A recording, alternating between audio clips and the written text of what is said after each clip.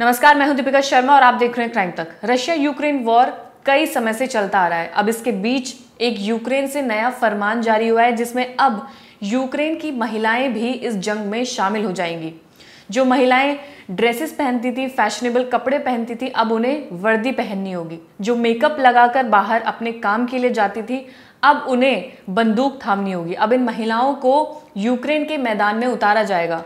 जो वहाँ के प्रेसिडेंट हैं, जेलेंस्की, उनका ये कहना है, उन्होंने ये घोषणा कर दी है और ये आदेश लागू कर दिया गया है कि अब उनके देश की महिलाएँ, जिनकी उम्र 18 साल से ऊपर और 60 साल से कम है, वो महिलाएँ और लड़कियाँ अब सेना में शामिल होंगी, उनकी ट्रेनिंग शुरू कर दी जाएगी।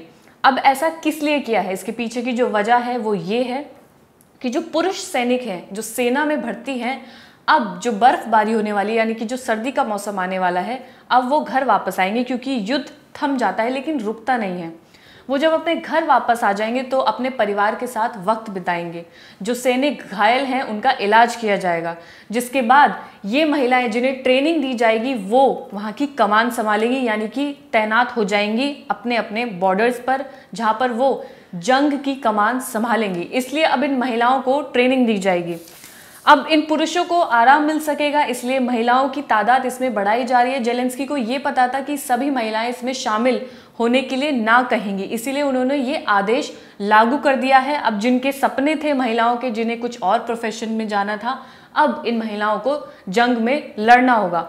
अब जैसे डॉक्टर हैं या नर्स हैं तो उनकी जगह सेना में ये होगी कि वो घायलों का इलाज कर पाएँगी।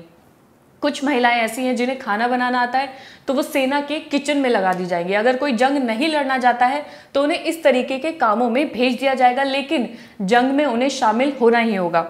यूक्रेन में अब आर्मी में महिलाओं की तादाद साठ हज़ार हो चुकी है। पाँच हज़ार सैनिकों को फ्रंट लाइन पर भेजा जा चुका है। इसके अलावा बीस हज़ार महिलाएँ इस वक्त सेना की ट्रेनिंग ले चुकी हैं।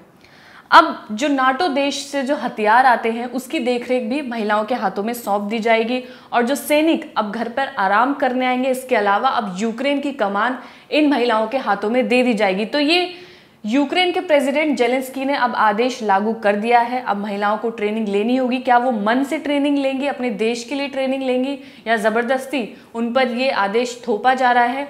इसका खास अपडेट हम हम आपको ज़रूर बताएँगे।